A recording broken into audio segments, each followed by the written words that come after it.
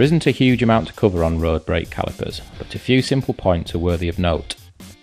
When you need to remove a wheel, you must open the release cap on the side of the caliper. This allows a tyre to pass the brake blocks without the need to deflate them. Of course, you must always remember to close them before you ride away again, otherwise you will have no brakes. As your pads wear, you should use a barrel adjuster at the side of the caliper to take up any unwanted slack at the lever.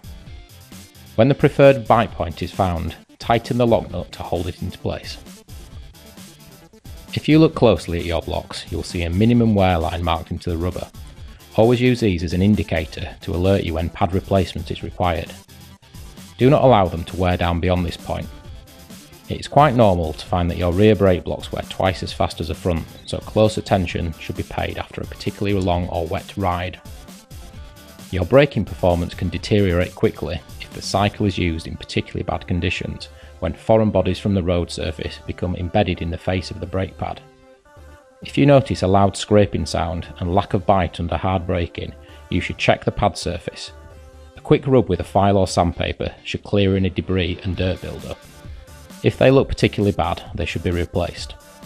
Please select one of the boxes on the screen for more instructional videos and how-tos regarding your new bike.